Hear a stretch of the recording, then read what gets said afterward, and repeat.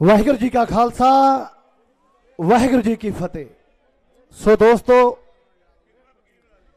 ਬਹੁਤਾ ਟਾਈਮ ਨਹੀਂ ਲੈਂਦਾ, ਗੱਲਾਂ ਕੰਮ ਦੀਆਂ ਹੀ ਕਰਾਂਗੇ। ਜਦੋਂ ਮੈਂ ਪਹਿਲੀ ਵਾਰੀ ਇਸ ਸਟੇਜ ਤੋਂ ਬੋਲਿਆ ਸੀ, ਮੈਂ ਕਿਹਾ ਵੀ ਬਹੁਤ ਸਾਰੇ ਸੰਘਰਸ਼ ਦੇਸ਼ ਦੇ ਵਿੱਚ ਛਿੜਦੇ ਨੇ। ਉਹ ਆਮ ਹੁੰਦੇ ਨੇ, ਪਰ ਜਿਹੜਾ ਇਹ ਸੰਘਰਸ਼ ਤੁਹਾਡਾ ਹੈ, ਇਹ ਖਾਸ ਹੈ। ਖਾਸ ਇਸ ਕਰਕੇ ਕਿ ਇਹ ਉਹ ਲੋਕਾਂ ਨਾਲ ਸੰਘਰਸ਼ ਹੈ ਜਿਨ੍ਹਾਂ ਦੇ ਵਿੱਚ ਪਰਮਾਤਮਾ ਵਸਦਾ ਦਸਾਂ ਨੌਹਾਂ ਦੀ ਕਿਰਤ ਕਰਕੇ ਖਾਂਦੇ ਨੇ, ਵੰਡ ਕੇ ਛਕਦੇ ਨੇ ਤੇ ਦਿਨ ਰਾਤ ਮਿੱਟੀ ਨਾਲ ਮਿੱਟੀ ਹੁੰਦੇ ਨੇ।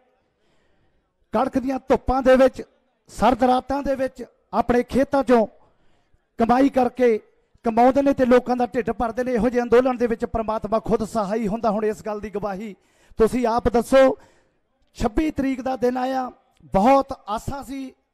ਇਸ ਅੰਦੋਲਨ ਨੂੰ ਲੈ ਕੇ ਸਾਡੇ ਦਿਲ ਦੇ ਵਿੱਚ ਵੀ ਅਸੀਂ ਪਰੇਡਾਂ ਦੇ ਵਿੱਚ ਸ਼ਾਮਲ ਹੋਵਾਂਗੇ ਐਦਾਂ ਦਾ ਸਾਡਾ ਸੰਘਰਸ਼ ਹੋਊਗਾ ਤੇ ਸਰਕਾਰ ਨੇ ਆਪਣੀਆਂ ਚਾਲਾਂ ਚੱਲੀਆਂ ਸਾਡੇ ਭੋਲੇ ਭਾਲੇ ਨੌਜਵਾਨਾਂ ਨੂੰ ਵਰਗਲਾ ਕੇ ਉਹਨਾਂ ਦੇ ਮੈਪ ਪਟਕਾ ਕੇ ਜੋ ਕੀਤਾ ਤੁਸੀਂ ਦੇਖਿਆ, ਪਰ ਅੱਜ ਵੀ ਤੁਹਾਡਾ ਸੰਘਰਸ਼ ਉਸੇ ਲੀਹਾਂ ਤੇ ਹੈ। ਸੋ ਗੱਜ ਕੇ ਇੱਕ ਫਤਿਹ ਬੁਲਾਓ ਇਸ ਸੰਘਰਸ਼ ਦੇ ਲਈ, ਬੋਲੇ ਸੋਨਿਹਾਲ ਤੇ ਜਦੋਂ ਪਰਮਾਤਮਾ ਖੁਦ ਇਸ ਸੰਘਰਸ਼ ਨੂੰ ਲੜ ਰਿਹਾ ਹੋਵੇ, ਫਿਰ ਡੋਲਣ ਦੀ ਲੋੜ ਨਹੀਂ। ਤੇ ਦੂਜੀ ਗੱਲ ਅਸੀਂ ਆ ਕੇ ਸਟੇਜ ਤੋਂ ਅਕਸਰ ਇਹ ਗੱਲ ਕਿਹਾ ਕਰਦੇ ਕਿ ਬਹੁਤ ਕੁਝ ਸਾਡੇ ਅੰਦੋਲਨ ਨੇ ਪ੍ਰਾਪਤ ਕਰ ਲਿਆ, ਕੀ ਕਰ ਲਿਆ? ਆਪਸ ਵਿੱਚ ਭਾਈਚਾਰਕ ਸਾਂਝ ਹੈ ਜਿਹੜੀ ਸਾਡੀ, ਉਹ ਸਾਰੇ ਸਟੇਟਾਂ ਦੀ ਵੱਧ ਗਈ, ਹਿਮਾ- ਹ- ਹਰਿਆਣਾ ਯੂਪੀ ਪੰਜਾਬ ਇਕੱਠਾ ਹੋ ਗਿਆ। ਪਰ ਦੋਸਤੋ, ਅੱਜ ਦੇਖ ਲਓ, ਜਦੋਂ ਅਸੀਂ ਲੰਘ ਕੇ ਆਏ ਆ ਭਰਾਵਾਂ ਦਾ ਰੋਲ ਜਿਹੜਾ ਹਰਿਆਣੇ ਨੇ ਅਦਾ ਕੀਤਾ ਹੈ, ਟਕੈਤ ਸਾਹਿਬ ਦੀਆਂ ਅੱਖਾਂ 'ਚੋਂ ਤਾਂ ਹੰਝੂ ਆਏ ਨੇ, ਸਾਡੀਆਂ ਅੱਖਾਂ 'ਚੋਂ ਵੀ ਹੰਝੂ ਆਉਂਦੇ ਨੇ, ਜਦੋਂ ਹਰਿਆਣਵੀ ਕਹਿੰਦੇ ਕਿ ਭਰਾਵੋ, ਜੇ ਤੁਹਾਡੇ ਤੇ ਇਹ ਵਿਫਤਾ ਦੀ ਘੜੀ ਪੈ ਗਈ, ਤੁਹਾਨੂੰ ਬਦਨਾਮ ਕੀਤਾ ਤਾਂ ਭਰਾ ਦਾ ਰੋਲ ਹੁੰਦਾ ਕਿ ਛਾਤੀ ਤਾਣ ਕੇ ਮੂਹਰੇ ਆ ਜਾਣ, ਤਾਂ ਜੇ ਜਾਟ ਨੇ ਜਿੰਨੇ ਸਾਡੇ ਅੰਦੋਲਨ ਦੇ ਮੂਹਰੇ ਆ ਗਏ। ਸੋ ਅੱਜ ਤੁਹਾਡਾ ਜਿਹੜਾ ਵਜਨ ਹੈ, ਇਹ ਸਾਡਾ ਹਰਿਆਣਾ, ਯੂਪੀ ਆ ਜਿਹੜਾ ਚੱਕੀ ਫਿਰਦਾ, ਸਾਡੇ ਤੇ ਜਿਹੜਾ ਬੋਝ ਹੈ ਸਿਰਫ ਆਪਣੇ ਫਰਜ਼ ਅਦਾ ਕਰਨ ਦਾ ਇਹਨਾਂ ਨੂੰ ਸਾਥ ਦੇਣ ਦਾ ਰਹਿ ਗਿਆ।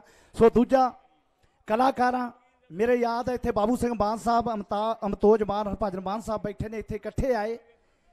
ਮੈਂ ਕਿਹਾ ਵੀ ਮੇਰੇ ਤੋਂ ਗੀਤ ਨਹੀਂ ਗਾਇਆ ਜਾਂਦਾ ਚੱਕਮਾ ਮੈਂ ਗਾ ਨਹੀਂ ਸਕਦਾ ਕਿਉਂਕਿ ਸਾਡਾ ਕੰਮ ਹੈ ਕਿ ਅੰਦੋਲਨ ਨੂੰ ਜਿੱਤਣਾ। ਜੋਸ਼ ਹੋਣਾ ਚਾਹੀਦਾ ਕੰਮ ਦੀ ਗੱਲ, ਉਹਨਾਂ ਦੀ ਗੱਲ ਸੀ ਕਮਾਲ ਦੀ।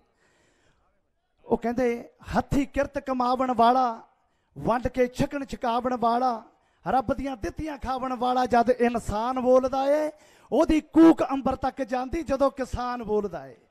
ਉਹਦੀ ਕੂਕ ਸੁਣੇ ਘਰ ਰੱਬ ਦੇ, ਜਦੋਂ ਕਿਸਾਨ ਬੋਲਦਾ ਏ। ਜਦੋਂ 26 ਤਰੀਕ ਨੂੰ ਸਾਰਿਆਂ ਦੇ ਦਿਲ ਟੁੱਟੇ ਤਾਂ ਤੁਹਾਡੀ ਜਿਹੜੀ ਇਹ ਹੂਕ ਸੀ ਦਿਲ ਦੀ, ਇਹ ਡਕੈਤ ਸਾਹਿਬ ਦੀ ਕੂਕ ਬਣ ਕੇ ਉਹਨਾਂ ਦੇ ਗਲੇ ਚੋਂ ਨਿਕਲੀ। ਅੱਜ ਜਨ ਸੈਲਾਬ ਆ ਗਿਆ, ਪੰਜਾਬ ਦੀਆਂ ਸੜਕਾਂ ਫੇਰ ਭਰਨ ਨੂੰ ਤਿਆਰ ਨੇ। ਪਿੰਡਾਂ ਦੇ ਵਿੱਚ ਮਤੇ ਪੈ ਗਏ, ਟਰਾਲੀਆਂ ਤੁਰ ਰਹੀਆਂ ਨੇ ਪਿੰਡਾਂ ਦੇ ਵਿੱਚੋਂ। ਤੇ ਸਾਡਾ ਸਾਰਾ ਪੰਜਾਬ ਦਾ ਜਿਹੜਾ ਗਾਇਕ ਭਾਈਚਾਰਾ ਤੁਹਾਡੀ ਪਿੱਠ ਤੇ ਖੜਾ, ਫੇਰ ਅੱਜ ਸਟੇਜ ਤੇ ਖੜਾ ਹੈ। ਹਾਲਾਂਕਿ ਪਰਮਾਤਮਾ ਅੱਗੇ ਅਰਦਾਸ ਕਰਦੇ ਹਾਂ ਕਿ ਸਾਨੂੰ ਕਦੇ ਆਪਣੀ ਜ਼ਿੰਦਗੀ 'ਚ ਇਹੋ ਜਿਹੇ ਸੰਘਰਸ਼ਾਂ 'ਚ ਬੋਲਣ ਦਾ ਮੌਕਾ ਨਾ ਮਿਲੇ, ਪਰ ਇਹ ਜਿਹੜੀਆਂ ਤਾਨਾਸ਼ਾਹੀ ਸਰਕਾਰਾਂ ਨੇ, ਅੱਜ ਕਲਾਕਾਰ ਵੀ ਇਹਨਾਂ ਸਟੇਜਾਂ ਤੇ ਚਾੜ੍ਹਤੇ, ਜਿਨ੍ਹਾਂ ਦਾ ਕੰਮ ਸਿਰਫ ਖੁਸ਼ੀਆਂ ਦੇ ਵਿੱਚ ਗਾਉਣਾ ਵਜਾਉਣਾ ਹੁੰਦਾ।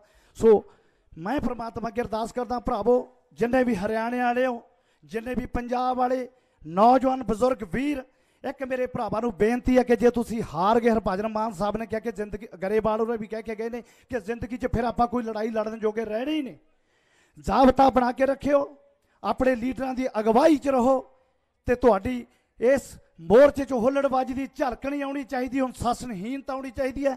ਜੋ ਵੀ ਤੁਹਾਨੂੰ ਗਲਤ ਆਨਸਰ ਲੱਗਦਾ ਤਾਂ ਉਹ ਤੇ ਅੱਖ ਰੱਖੋ ਦੀਆਂ ਚਾਲਾਂ ਤੇ ਸੁਚੇਤ ਰਹੋ। ਬਸ ਆਪਣਾ ਸਿਰਫ ਇਹੀ ਫਰਜ਼ ਹੈ। ਸੋ ਵਾਹਿਗੁਰੂ ਅੱਗੇ ਅਰਦਾਸ ਕਰਦਾ ਕਿ ਆਪਾਂ ਫੇਰ ਜਿਹੜਾ ਇਹ ਜੋਸ਼ ਸਾਡੇ ਭਰਾਵਾਂ ਦੇ ਵਿੱਚ ਹੁਣ ਦੁੱਗਣਾ ਹੋ ਕੇ ਉਹਨਾਂ ਦੀਆਂ ਅੱਖਾਂ 'ਚੋਂ ਦਿਖਾਈ ਦੇ ਰਿਹਾ ਹੁਣ ਇਹ ਮੋਰਚਾ ਜਿਹੜਾ ਅਸਲੀ ਲੋਕ ਸਾਂਭ ਰਹੇ ਨੇ ਅਸਲੀ ਮੋਰਚਾ ਜਿਹੜਾ ਉਹ 26 ਤੋਂ ਬਾਅਦ ਸ਼ੁਰੂ ਹੋਇਆ ਅੱਜ ਇਹ ਮੋਰਚਾ ਜਿਹੜਾ ਸਾਰੀ ਦੁਨੀਆ ਫੇਰ ਤੁਹਾਡੇ ਮੋਰਚੇ ਨੂੰ ਦੇਖ ਰਹੀ ਹੈ। ਆਪਾਂ ਜਲਦੀ ਇਸ ਜੰਗ ਨੂੰ ਜਿੱਤਾਂਗੇ, ਸਾਰੇ ਤੁਹਾਡੇ ਨਾਲ ਆ। ਕਾਇਮ ਹੋ ਕੇ ਰਹੋ। ਇਸ ਦੇ ਨਾਲ ਹੀ ਆਜ਼ਾਦ ਲੈਣਾ ਵਾਹਿਗੁਰੂ ਜੀ ਕਾ ਖਾਲਸਾ, ਵਾਹਿਗੁਰੂ ਜੀ ਕੀ ਫਤਿਹ।